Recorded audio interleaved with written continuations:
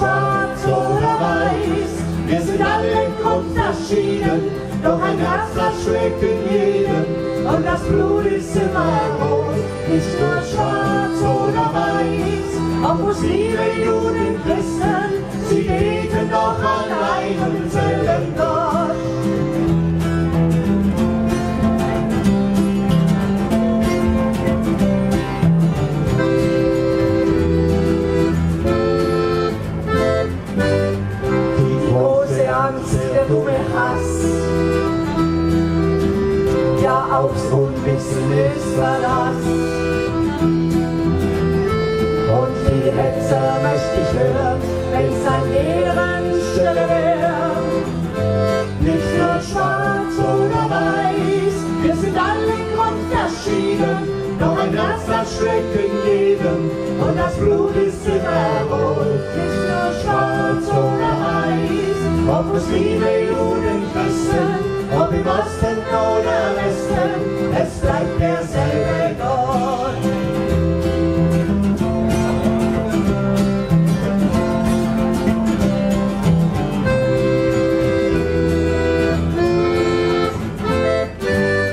Und die so eifrig demonstriert, von den Gedanken ruhig riskiert, dies wären ihre Kinder und Frier.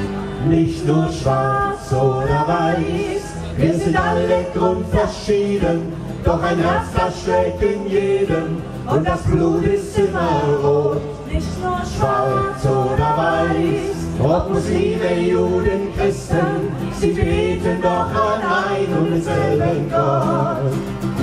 Nicht nur schwarz oder weiß, die Haut hat viele Farben, nur die einen haben Augen und die anderen schert es nicht. Schwarz oder weiß, was ist besser, was ist schlechter, wer nennt sich da zum Richter über die Welt?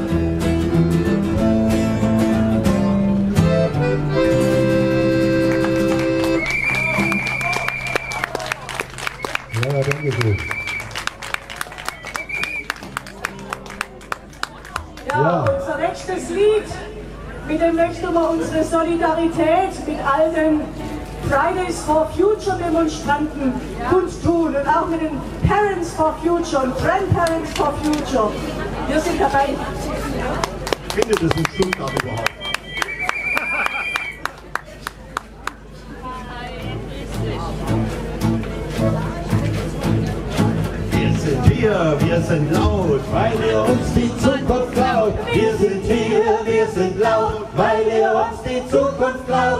Wir sind hier, wir sind laut, weil ihr uns die Zukunft klaut. ihr habt uns gezeugt, ihr habt uns ernährt. Irgendetwas läuft, gar verdammt verkehrt. Ihr macht Scheiß und zu welchem Preis? Pole schmelzen ab, Atemluft wird knapp. Faule Kompromisse, nutzt ihr Überschüsse. Wald und Säfte trocknen oder sie versaufen. Und was macht ihr? Geht laufen! Wir sind hier, wir sind laut, weil ihr uns die Zukunft klaut. Wir sind hier, wir sind laut, weil ihr uns die Zukunft klaut. Wir sind hier, wir sind laut, weil ihr uns die Zukunft. Kaisers neue Kleider, höher, schneller, weiter. Schöner, schlauer, reicher, die Birne, die wird weicher. Konsumieren, konsumieren und dabei den Verstand verlieren.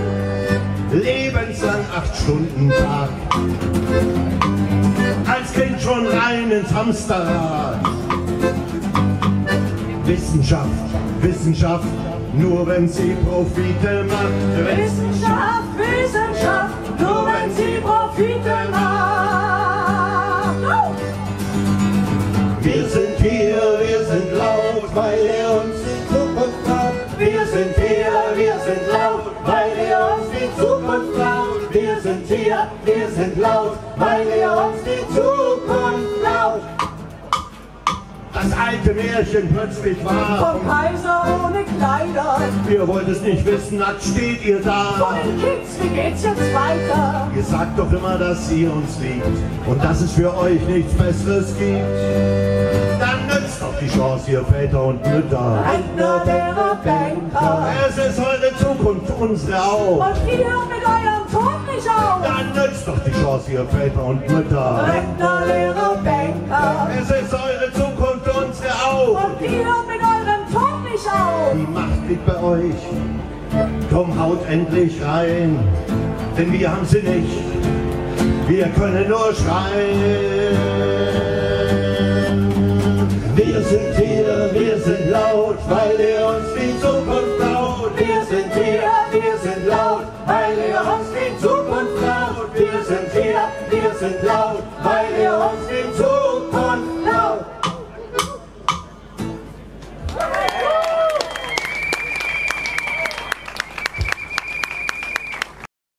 Auch von uns Applaus. Festtagsmusik aus Ulm. Das sind Waltraud an der Akkordeon und Querflöte, Marion Gitarre, Hans Gitarre, der Stax am Bass und singen können sie alle.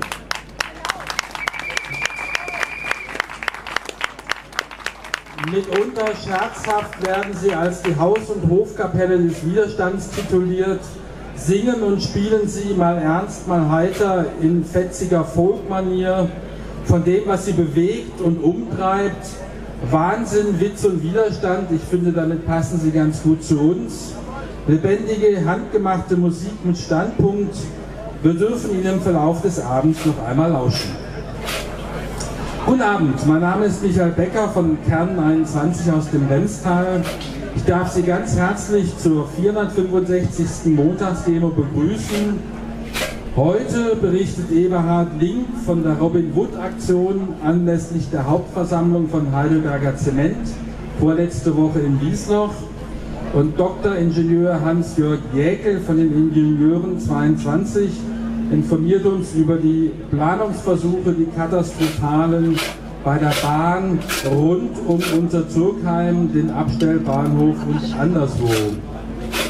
Gutes Konzept statt Notlösung fürs 21 heißt seine Rede. Oben bleiben. Nachher zum Schluss der Kundgebung führt uns der Demozug entlang der Königstraße, rechte Seite der Baumallee bis zur Mahnwache, wo dann die Demo mit dem Schwabenstreich endet. Begrüßen Sie bitte mit mir zusammen die Radler vom Feuersee. Sind Sie schon da? Toll. Gestern hatten die Radler einen tollen Tag. Da war nicht nur das Wetter besser, zumindest bis abends, sondern bei einem vom ADFC organisierten Sternfahrt konnten die Radfahrer im wahrsten Sinne des Wortes erfahren, wie es ist, wenn man sich in einer Stadt bewegt, die nicht nur dem Auto gehört. Besonders die Radler, die auf der B14 den Neckar queren konnten, hatten Grund zur Freude. Ist es doch im Alltag weit beschwerlicher, mit dem Rad in die Stadt zu fahren, denn vor fast drei Jahren wurde wegen Stuttgart 21 der Holzsteg über den Neckar abgerissen. Und es wird wohl laut Zeitungsberichten der Stuttgarter Zeitung noch über zwei Jahre dauern, bis an dieser Stelle ein neuer Weg über den Neckar gezogen wird. Ich mag mir gar nicht vorstellen, was für ein Geschrei losgegangen wäre, wenn wir den Straßenverkehr an der König-Karl-Brücke für fünf Jahre umgeleitet hätten. Erinnern Sie sich noch an Bahnchef Rüdiger Grube? Ja, mir scheint, der eine oder andere, die eine oder andere kennt ihn noch und nicht in guter Erinnerung. Es scheint so, dass nach seinem millionenschweren Abgang bei der Bahn im Januar 2017, da wurde er zunächst Vorsitzender des Aufsichtsrats der Hamburger Hafen- und Logistik AG sowie Chairman der Investmentbank Lazar in Deutschland. Nun war aktuell im Handelsblatt zu lesen, dass er auch den Posten des Aufsichtsratsvorsitzenden beim Lokomotivenhersteller Bombardier Transportation übernimmt.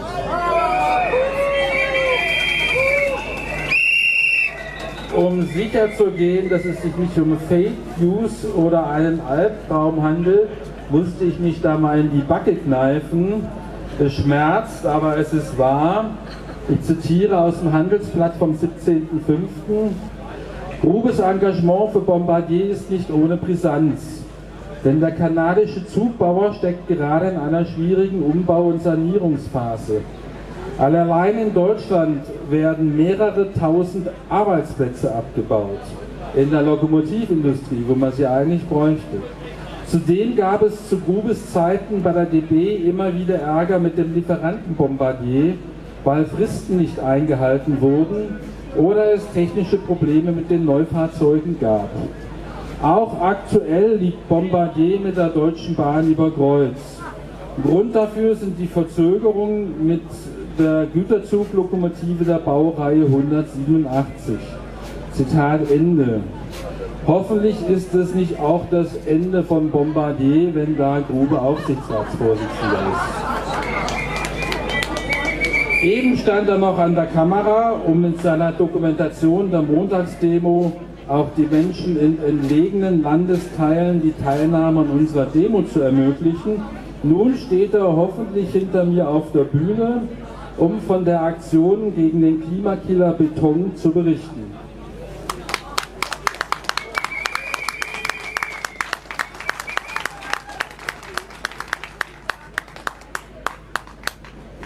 Robin Wood und mehrere Umweltorganisationen haben anlässlich der Aktionärsversammlung von Heidelberg Zement in Wiesloch Donnerstag vor einer Woche Protestaktionen gemacht. Mit dabei waren auch 17 Stuttgart 21 Gegnerinnen und haben die Robin Wood Aktion vor Ort unterstützt. Warum gerade Heidelberg Zement?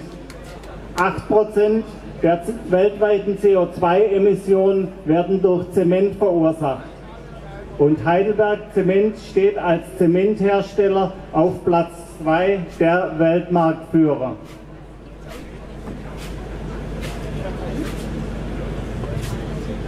Eine entlarvende Aussage des Konzernchefs Scheifele.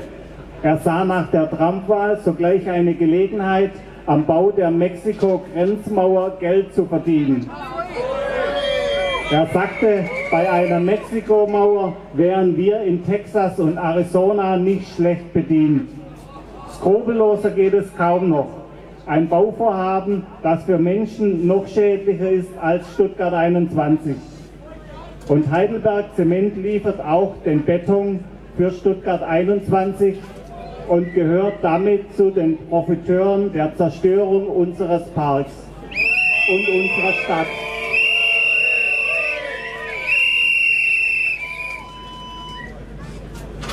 Bei den Protesten, bei der Aktionärsversammlung war auch die Organisation Watch Indonesia dabei.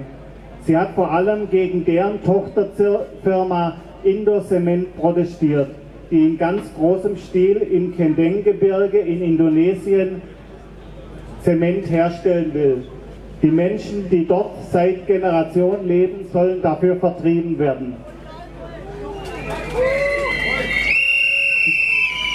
Die Bäuerin und Aktivistin Gunati hat an Watch Indonesia für diese Aktionärsversammlung einen Brief geschrieben, der übersetzt und dort verlesen wurde. Gunati lebt als Bäuerin am Kending Karstgebirge in Java. Sie gehört zu der indigenen Gruppe der Sedulur Sikep, die seit Generationen von der Landwirtschaft leben und die diese nachhaltig betreiben. Seit 2010, dem Jahr, in dem das Tochterunternehmen von Heidelberg Zement Indo Cement Pläne für die Errichtung einer Zementfabrik startete, leisten die Sekulur Sikep gemeinsam mit vielen weiteren Anwohnerinnen energischen und konsequent gewaltfreien Widerstand. Ich lese euch jetzt den leicht gekürzten Brief von Gunati vor. Liebe Brüder und Schwestern in Deutschland, ich sende euch achtungsvolle Grüße, mögen wir alle innerlich und äußerlich gesund bleiben, wo auch immer wir uns aufhalten. Wir dürfen niemals vergessen, dass wir ohne Mutter Erde nicht leben können. Jeder von uns braucht was, das, was sich uns schenkt. Wir brauchen Wasser, brauchen Nahrung, Gesundheit und einen Ort zum Leben und Frieden. Deshalb lasst uns die Erde auf friedliche Weise beschützen. Lasst uns die Erde schützen, denn wenn wir sie verletzen, wird sie wütend werden. Überall können wir die Folgen beobachten, wenn Unternehmen nicht aufhören, die Erde so massiv auszubeuten. Wir sind Zeugen der globalen Erwärmung. Wir sehen zu, wie die Pole schmelzen. Und ihr, die ihr angeblich so schlau seid, dank eurer Bildung, ihr müsstet doch wissen, dass die Zerstörung des Kendeng-Gebirges auf Java Folgen für uns alle hat. Wessen Verantwortung ist das? Die von Unternehmen oder von Politikern? Ich frage Sie als Aktionärinnen und Aktionäre, haben Sie überhaupt noch Gefühle? Wenn Sie noch Gefühle haben, wenn Sie noch ein Erinnerungsvermögen haben, müsste Ihnen doch klar sein, dass Sie zum Leben Essen und Trinken brauchen keinen Zement, keinen Sand und auch keine Kohle. Ist Ihnen bewusst, dass Sie mit all Ihrer Bildung und all Ihrem Geld einen falschen Weg einschlagen? Einen gierigen und grausamen Weg. Einen Weg, der nur vom Streben nach materiellen Dingen bestimmt ist. Nach materiellen Dingen, die nicht wirklich nahrhaft sind. Und merken Sie überhaupt nicht, dass ihr Geld irgendwann nicht mehr von Bedeutung sein wird. Was sie wirklich brauchen, ist doch nicht mehr als Essen und Trinken, nicht mehr als saubere Luft, sauberes Wasser und eine saubere Umwelt. Meine Freunde und Freundinnen, die Mutter Erde schützen wollen, gebt nicht auf, werdet nicht müde, erinnert die Menschen, die schnell vergessen und die von Geld trunken sind, und die überall auf der Welt noch mehr Fabriken bauen wollen. Wir müssen weiter in Bewegung sein, um Mutter Erde zu schützen. Wir müssen die Aktionärinnen und Aktionäre erinnern. Ich sende euch Grüße. Wir sind eine Familie.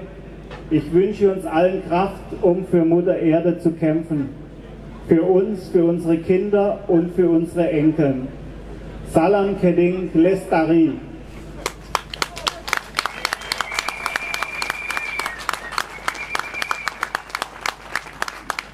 Danke, Donati, für diesen zu Herzen gehenden Brief und danke euch allen hier auf dem Platz für euren beharrlichen Widerstand.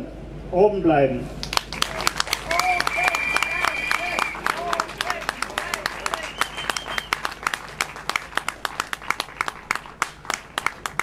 Und ich bedanke mich ganz herzlich bei Eberhard Link von Robin Wood dafür, dass er diese Aktion so toll geplant hat. Ich war selber mit dabei. Wir sind mit dem Zug hingefahren und sind an dem Kongresszentrum den Aufsichtsräten und den Aktionären ordentlich aufs Dach gestiegen. Im wahrsten Sinne. Auch im zukünftigen Rosenstein-Quartier soll es viel Beton geben. Zu den jüngst vorgestellten Plänen aus dem Wettbewerb hat das Aktionsbündnis gegen Stuttgart 21 eine Presseerklärung veröffentlicht, aus der ich hier in Teilen zitieren möchte. Das Aktionsbündnis gegen Stuttgart 21 setzt sich grundsätzlicher mit der Entwicklung auseinander. Die immer noch nicht aufgegebene Idee einer Bebauung des Gleisvorfeldes sei klima- und verkehrspolitisch aus der Zeit gefallen. So heißt es in der Pressemitteilung.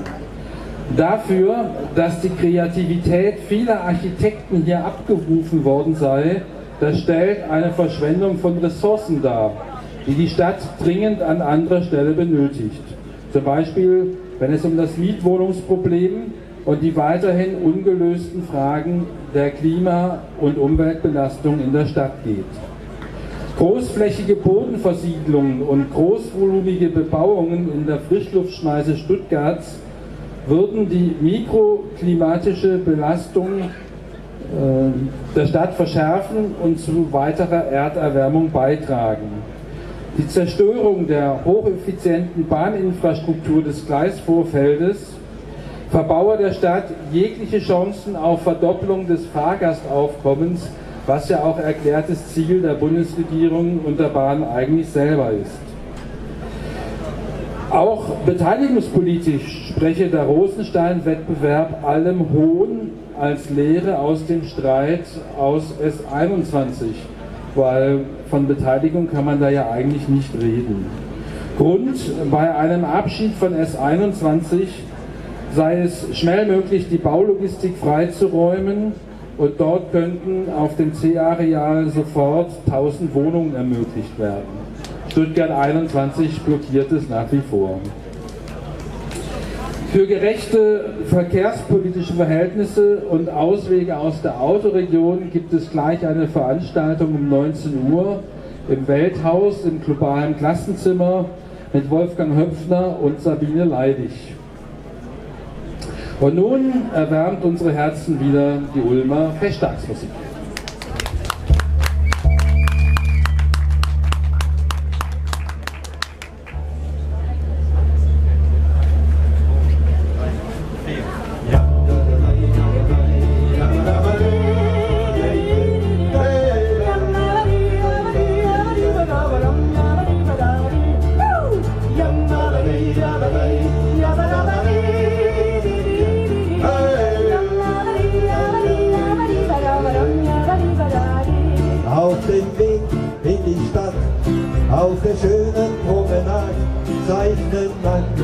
Ja der kam wohl gerade erst an. Schwarze Haare, alte Jacke, hat Karton und ein Sack, mit dem waren wohl seine ganzen Sachen drin. Er bleibt stehen, schaut mich an, weiß nicht, wo er hingehört. Und seine Augen, die stellen mir die Frage, wann geht der Himmel auch für Wann geht der Himmel wieder auf? Wann scheint die Sonne wieder? Sind wir denn nicht Schwestern und Brüder? Wann geht der Himmel wieder auf?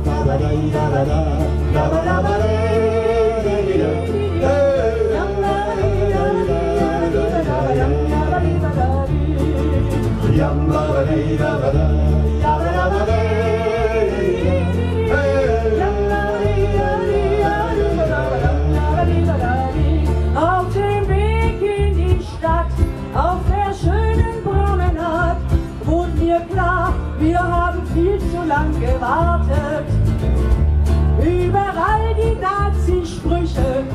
nackte Angst hat mich erwischt. Wir haben viel zu lang das Maul nicht aufgemacht. Braune Wolke überm Land, gestern David, heute das Land. Und alle stellen uns dieselbe Frage. Wann geht der Himmel auch für uns wieder auf? Wann geht der Himmel wieder auf? Wir denn nicht Schwestern und Brüder? Wann geht der Himmel wieder auf? Wann geht der Himmel auch für uns wieder auf? Wann geht der Himmel wieder auf? Wann scheint die Sonne wieder? Sind wir denn nicht Schwestern und Brüder? Wann geht der Himmel wieder auf?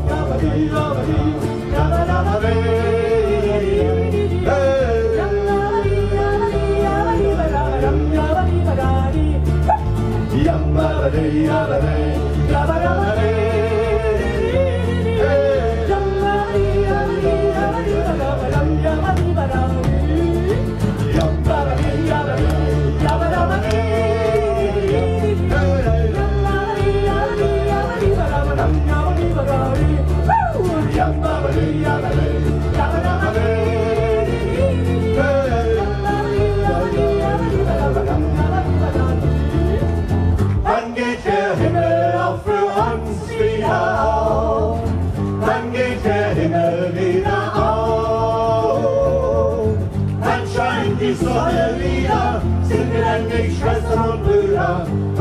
Geht der Himmel wieder auf?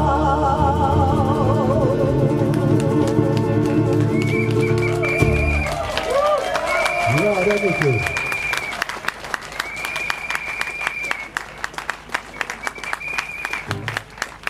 Einen haben wir noch.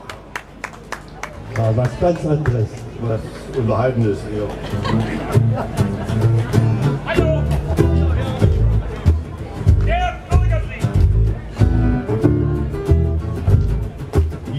Freitagabend, da mache ich mich schön, denn ich lege Wert darauf, dass die Leute mich sehen.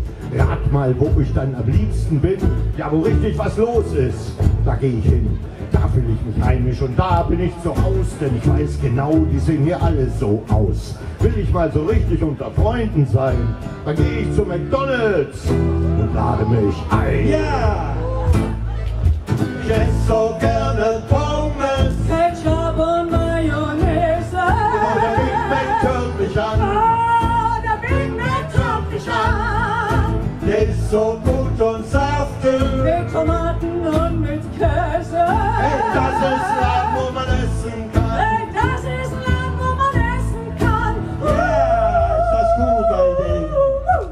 Big Mac.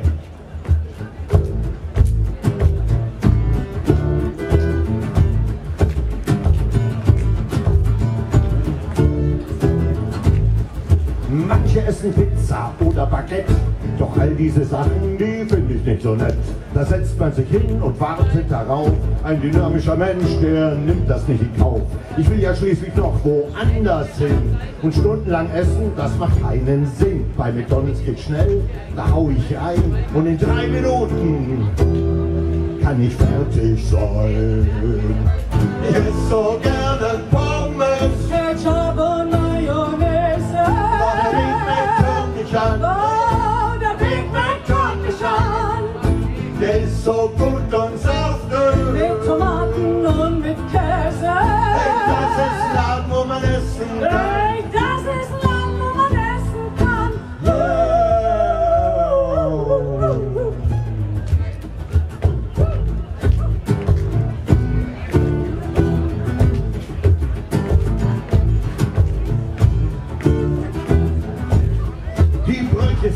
sind matschig und sehen gar nicht gut aus. Das macht mir bei McDonalds aber gar nichts aus. Der Ketchup stinkt und verschmiert das Gesicht. Aber bei McDonalds, nein, da stört mich das nicht.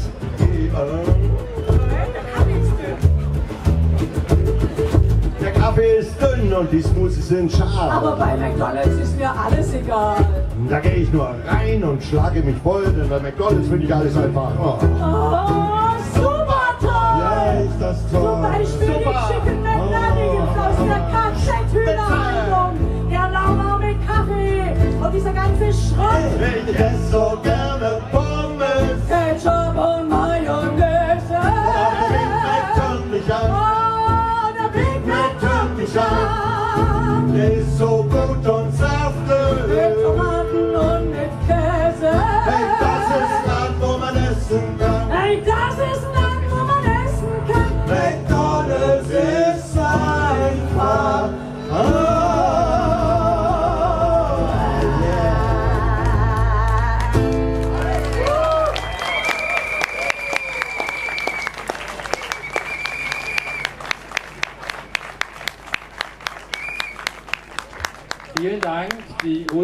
Ulmer Festtagsmusik.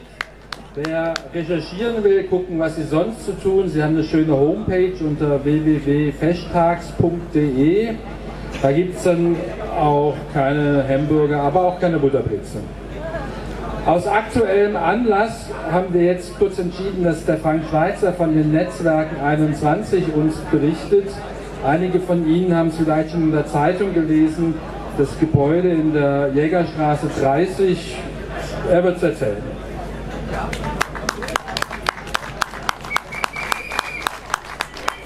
Hallo Freunde des Widerstands. Aufgrund der aktuellen Entwicklung äh, muss ich euch kurz äh, berichten, weil in der Zeitung nicht alles ganz äh, richtig stand.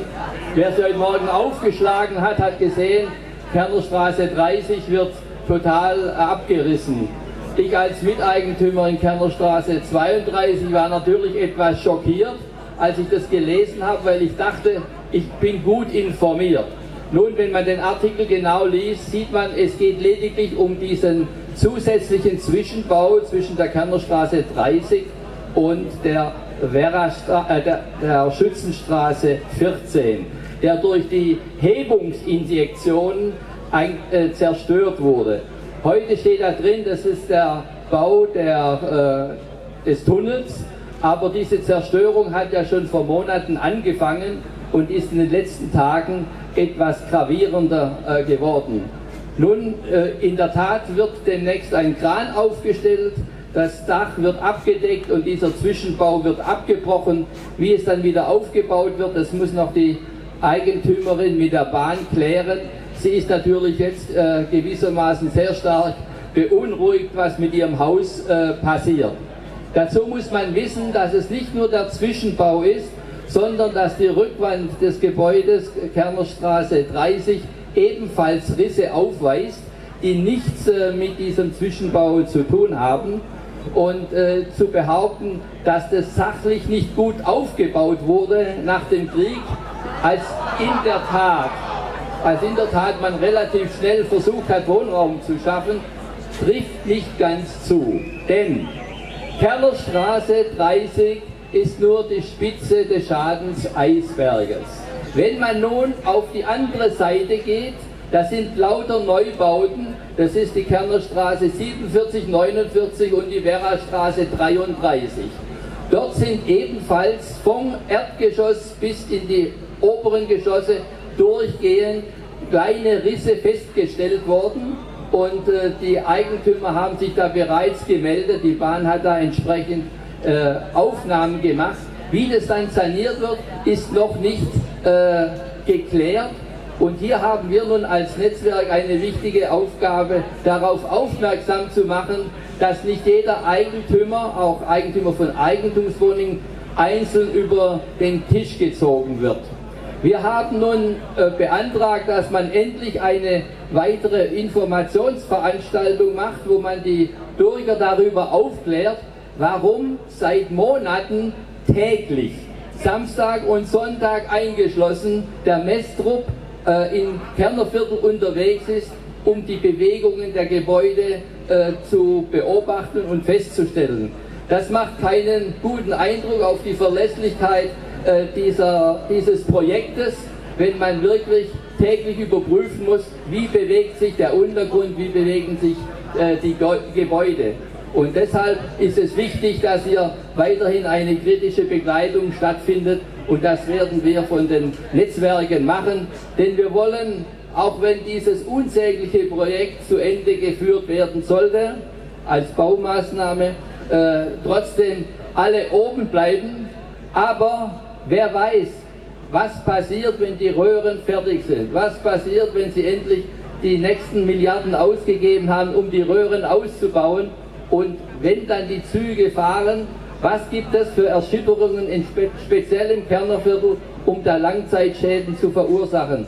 Hier werden wir wohl noch sehr lange wachsam sein müssen und darauf hinweisen, wie unsäglich dieses Projekt ist. Ich bitte Sie, uns weiterhin so wie heute zu unterstützen und wir wollen alle oben bleiben. Dankeschön für die Zeit.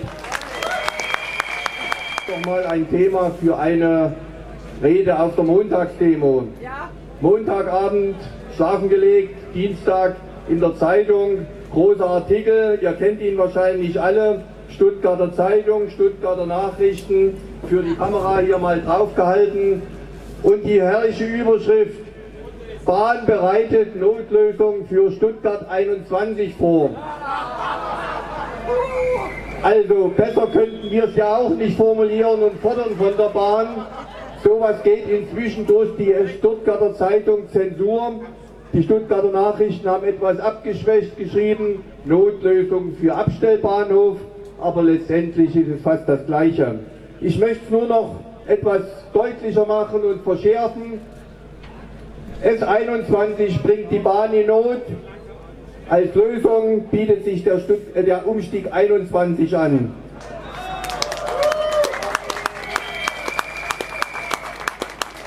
Was ist jetzt mit dem Abstellbahnhof? Die Bahn hat jetzt glücklicherweise ihren vierten Antrag, also nicht irgendwelche Planänderungen, sondern den vierten Antrag eingereicht. Alles andere wurde zurückgezogen, die alten Anträge. Es würde schon interessant sein, das alles sich anzuschauen. Aber lassen wir es mal bei der Nummer 4. Das kennen wir doch auch. Bei den Filtern oben gibt es das Gleiche. Und irgendwie über den Rückbau Gleisvorfeld redet keiner mehr. Alles sind B-Anträge. 1.3a auf den Filtern, 1.3b die Gäubahnzuführung, der Abstellbahnhof, 1.6b. Das sind alles die Sachen, wo die Bahn es schleifen lässt. Aber wie lassen Sie das schleifen? Neun Jahre sind jetzt mit dem Bau vergangen. Die Kosten explodieren, die Termine laufen auf den Ruder. und es gibt noch nicht mal einen Plan ansatzweise für einen Abstellbahnhof. Das ist ganz wichtig für einen Großstadtbahnhof. Und wenn man das vergleicht mit Hamburg, wo eine Autoverladung nicht richtig geplant war und dann das Gericht gesagt hat, der Planfeststellungsbeschluss ist unrechtmäßig, Diebsteich, Altona dürfen nicht gebaut werden. Das war offenbar der Bahn ganz recht. Aber hier in Stuttgart sehen das die Bahn, die Politik und die Gerichte ganz anders.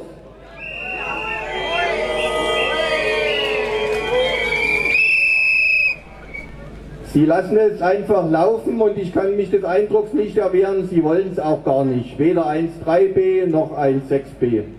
Denn es gab ja mal einen Bahnchef, ihr kennt alle noch den Herrn Dr. Grube.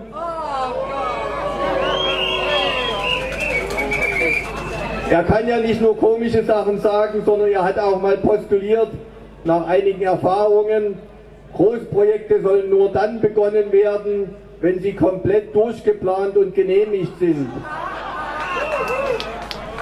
Da hatte man mit Stuttgart 21 ja schon begonnen, aber dieser Ansatz ist ja durchaus richtig. Aber jetzt zu sagen, wenn wir mal begonnen haben, dann brauchen wir uns um die fehlenden Planungen gar nicht mehr zu kümmern.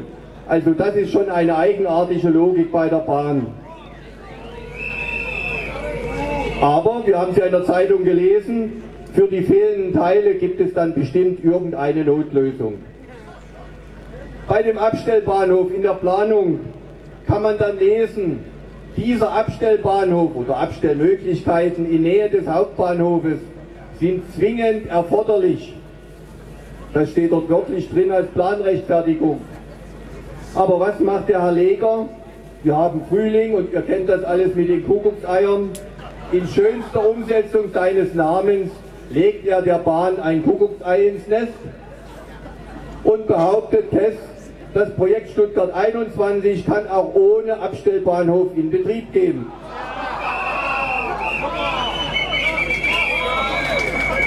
Ja, was denn nun? Entweder steht in der eingereichten Planung, der Abstellbahnhof ist zwingend erforderlich oder es geht auch ohne. Zwingend heißt eigentlich, dass der Herr Leger, gelinde gesagt, einem Irrtum unterlegen ist. Er hat behauptet beim Lenkungskreis, er hätte auch einen Plan B. Und das würde heißen, dass die Abstellung nicht nur fünf Kilometer vom Hauptbahnhof entfernt in Untertürkheim stattfindet, sondern vielleicht 20 oder 50. Böse Zungen sagen schon auch vielleicht in Ulm, das wären dann 90 Kilometer dass dort die Züge, die tagsüber nicht gebraucht werden und nachmittags wieder aus dem Stuttgarter Hauptbahnhof hinaus in die Region fahren sollen, dass die halt dort abgestellt werden. Aber wir sagen ganz eindeutig, wir wollen keinen Plan B und wir wollen keine Kuckuckseier, sondern wir wollen eine richtige Lösung und die ist gut und einfach, nämlich der Abstellbahnhof im Rosenstein.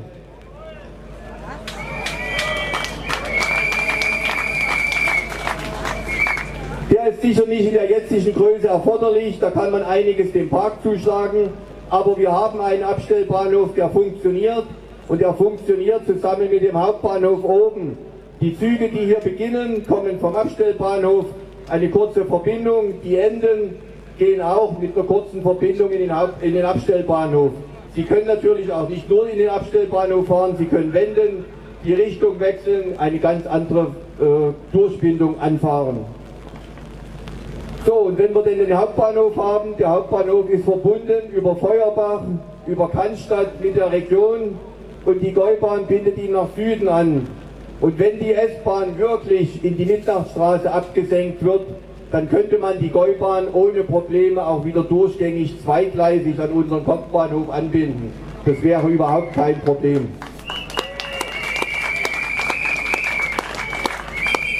Ja, und mit diesem Abstellbahnhof und Hauptbahnhof, dann schauen wir wieder nach Untertürkheim. Quasi dort unterhalb der Weinberge wäre eine sehr große Fläche, fast unmittelbar nach Verlegung weniger Gleise für den Städtebau frei. Es geht um eine Fläche anderthalb Kilometer, etwas mehr noch frei, lang und fast 100 Meter breit. Die wäre verfügbar für eine internationale Bauausstellung 27. Man könnte die Augsburger Straße von dem, oder der Durchgangsverkehr von der Augsburger Straße könnte weg, direkt neben die Bahngleise 16a, also die durchgehenden Gleise nach Kornwestheim und die fast 100 Meter, also zwischen 80, etwa 80 Meter sind es, könnten städtebaulich sofort entwickelt werden. Sie könnten auch verrechnet werden, geldmäßig zwischen Bahn und Stadt, gegen eine Rückübertragung der Gleisflächen im Vorfeld für den Hauptbahnhof, denn es macht nicht sehr viel Sinn, dass die Stadt Stuttgart den Bahnhof besitzt, aber halt die Bahn fährt. So, aber jetzt noch ein paar Sätze zu der Planauslegung. Sie ist in der Eberhardstraße, also hier hinten im Stadtplanungsamt, einsehbar. Vielleicht organisieren wir auch mal einen Termin für Leute, die das interessiert. Bis zum 12. Juni. Im Netz ist es auch verfügbar auf den Seiten des Regierungspräsidiums. Und die Einsprüche können bis zum 12. August formuliert werden. Also eine recht lange Frist. Und ich denke, da wird es auch noch Anregungen von den Ingenieuren und von den Stadtteilgruppen geben. Worum geht es denn dann mit der Planung? Die Zufahrt aus Bad Cannstatt soll wieder jetzt nach neuester Planung nicht mehr entfallen, sondern sie soll zweigleisig durchgeführt werden. Und wo hat man da Platz? Über der jetzigen S-Bahn S1 und S2. Man will also ein Tunnelgebirge errichten in der Ausfahrt Cannstatt über der jetzigen S1 zum Neckarpark und darüber Gleise zum Abstellbahnhof legen. Nach dem Desaster am Flughafen, wo die Bahn gleich mal erklärt, ein Jahr fährt da kein Zug mehr, könnt ihr euch alle überlegen, wie lange dann auch kein Zug mehr auf der S1-Linie zum Neckarpark fährt. Unzumutbar, aber keiner sagt was dazu.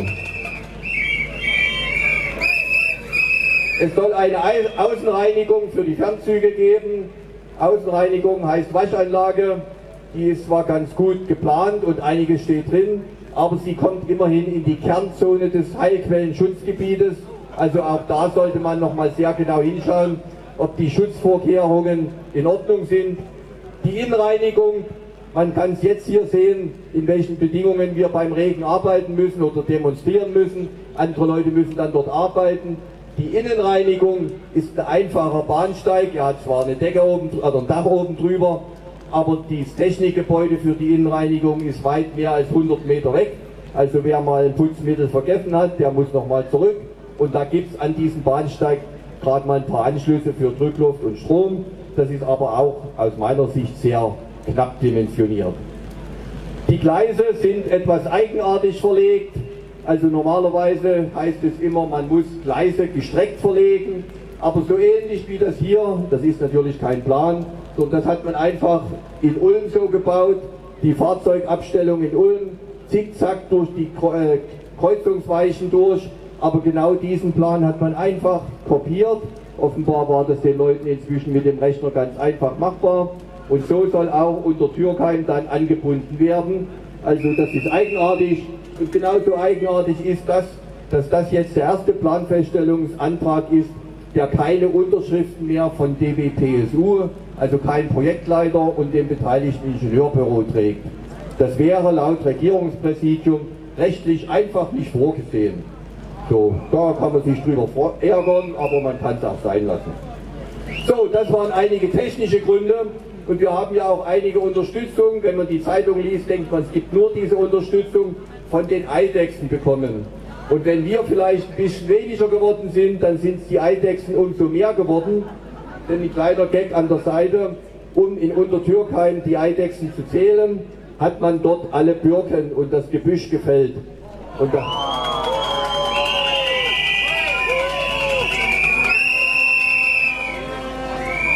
Ja,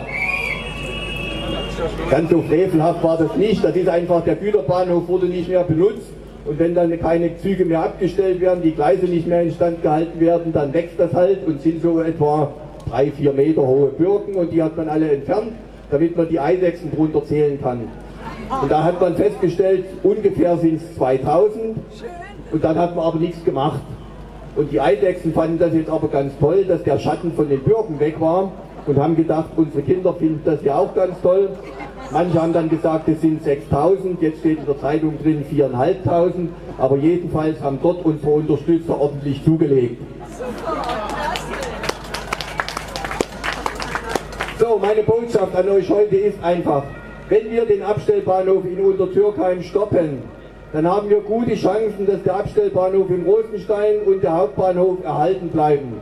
Und das sollte uns das Ziel sein, dafür sollten wir uns einsetzen. Wir haben mit diesem Erhalt Stuttgart Hauptbahnhof oben und Abstellbahnhof Rosenstein ein sehr gutes Konzept und nicht eine Notlösung, wie es der Herr Leger vorschlägt. Und diese Lösung ist so einfach, dass in Abwandlung eines Schlagertextes wir nicht mehr sagen müssen, die berühmten drei Worte, sondern nur noch die berühmten zwei Worte. Die Lösung heißt, oben bleiben.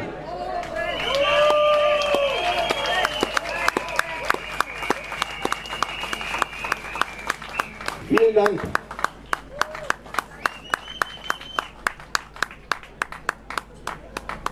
Ja, vielen Dank, Dr. Diplom-Ingenieur Hans Jäkel von den Ingenieuren 22. Vielen Dank auch für Ihre Geduld, bei den Regen hier zu stehen. Nun wird uns der Demozug die Königstraße runter bis zur Mahnwache führen. Kommen Sie gut nach Hause. Bis zum nächsten Mal. Tschüss und die zwei Worte oben bleiben.